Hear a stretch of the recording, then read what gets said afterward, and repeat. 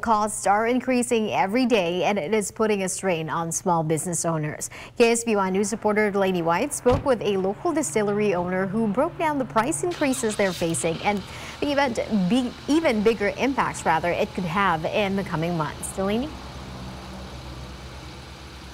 Good evening, Nina. Small businesses are the first to feel the pain from inflation. And as the price of goods they use in their products starts to increase, so does the ticket price for customers. And some of the businesses I spoke to say they're going to be forced to raise their prices once again.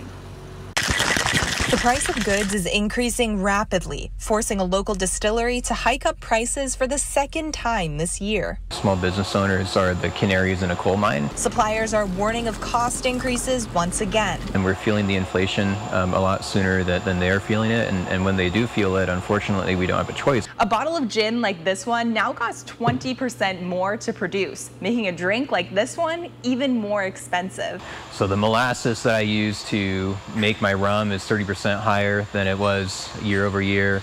Uh, the sugar I use to make my liqueurs is 20% higher than it was year over year.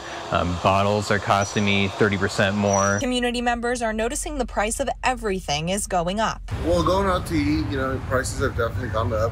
Um, I think cost of goods have gone up as a whole. Oh, horrendous.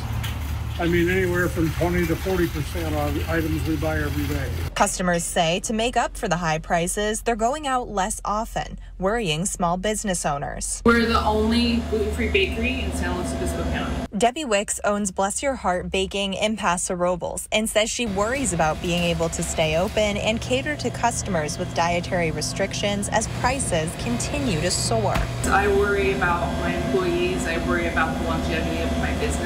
Worry about being here next year. From flour and eggs to bags, Wicks says the price of everything they buy has increased, forcing them to pass the costs on to customers.